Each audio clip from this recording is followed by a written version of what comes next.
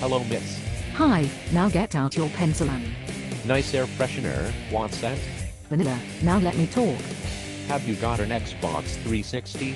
Yes, I like this metal song. Who made it? Metal Men. Now today we are going to Metal Men Rock.